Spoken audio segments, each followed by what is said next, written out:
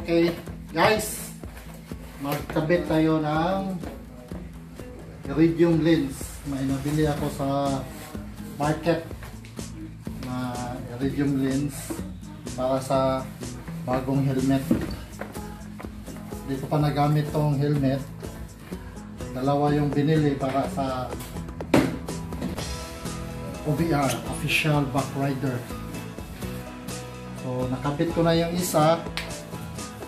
Sabay yung actual saka practice sa pagkabit. So,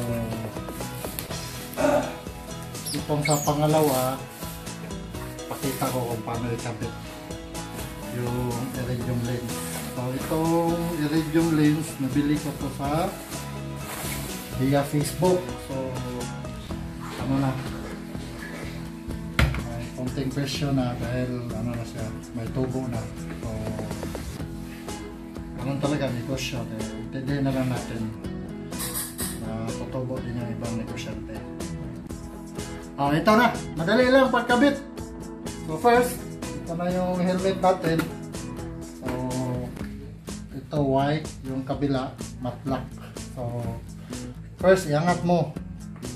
Tapos, itong dalawang kulay red na yan, mayroon namang nakalagay na open eh.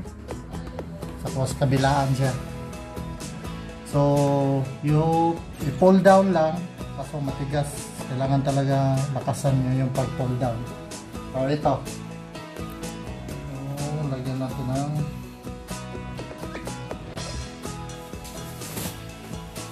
para hindi ma-scratch yung helmet natin.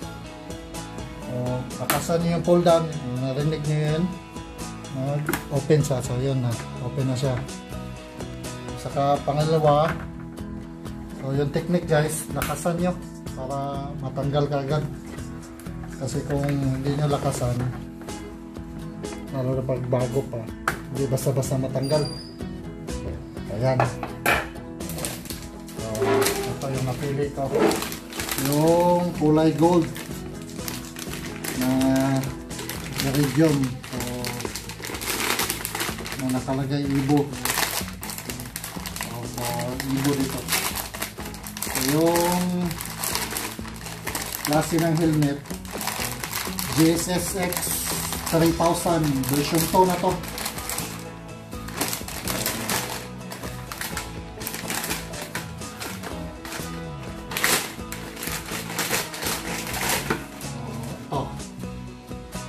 Parehas kulay gold para ang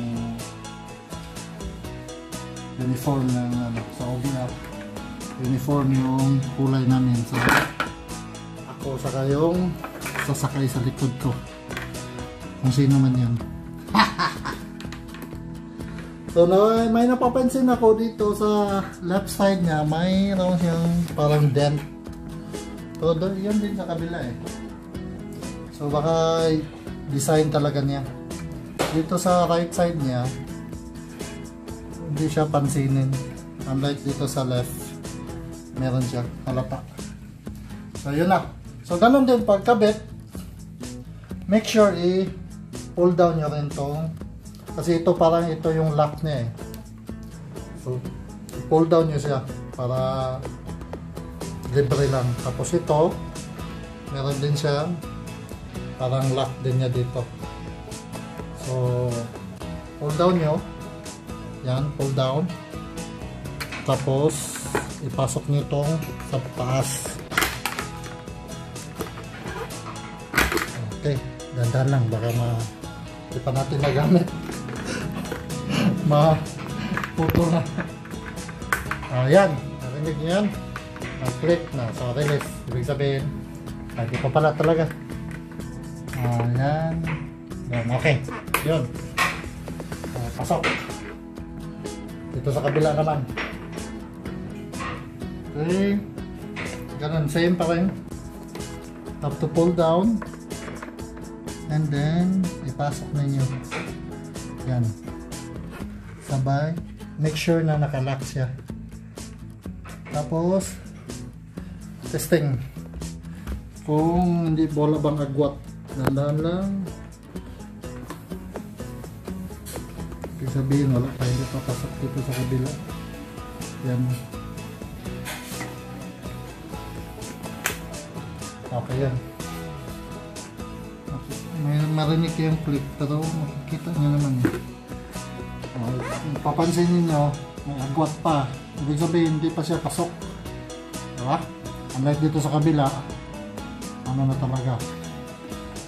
Yung clear na. So, angat nyo ulit. Tapos, yun, pull down. Pull down. And, pasok nyo lang. Yan. Okay. So, parang yan. Pasok na yan.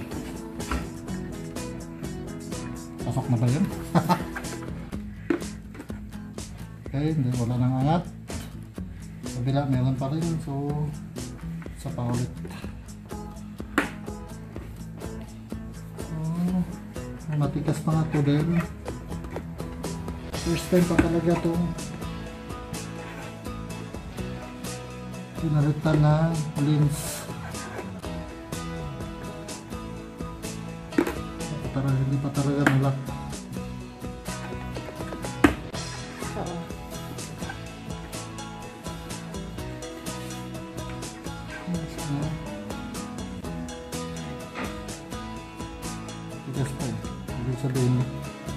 Wala pa. Hmm. Kulang pa talaga. Hmm. Ano natin? Pagpasok.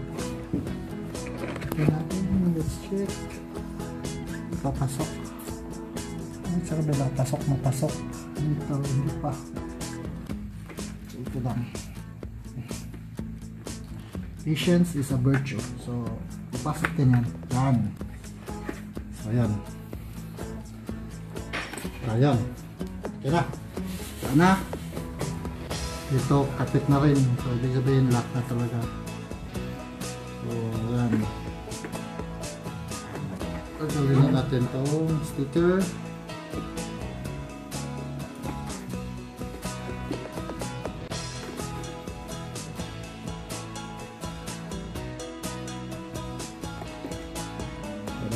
Para ready to use na ito bukas. Tumas.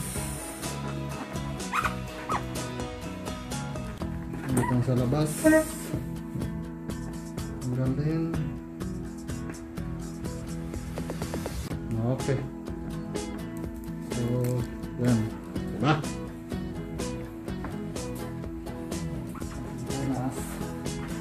Perfect.